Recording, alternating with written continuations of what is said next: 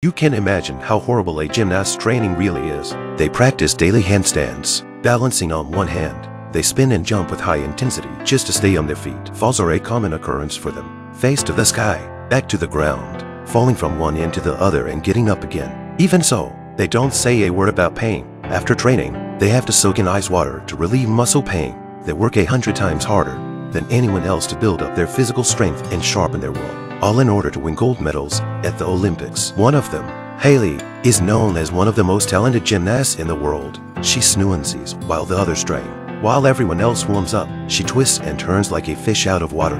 She doesn't even take the competition seriously, and she mimics a monster walking. It makes the coach want to yell at her. She's just a troublemaker. She even made fun of other competitors on the balance beam for moving as slow as her grandma mopping the floor. Don't think she's a jerk, but her strength is not to be underestimated. She dropped everyone's jaws with a double backflip.